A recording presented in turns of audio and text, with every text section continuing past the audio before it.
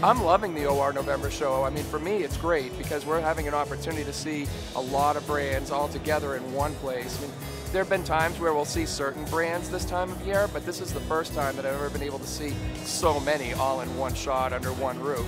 So it's great. It's exciting. There's a killer vibe going on here, um, and it's been a whole lot of fun. I'm here paying attention to uh, clothing brands that we don't currently carry, um, and the outdoor space is you know a little bit different than the snow space, and so it's been it's been great getting to have that exposure to brands that maybe you otherwise didn't. And so coming to the show and seeing certain booths that are really hopping, you know, is great as a buyer. You know, say, wait a minute, maybe that's something I do need to be paying attention to.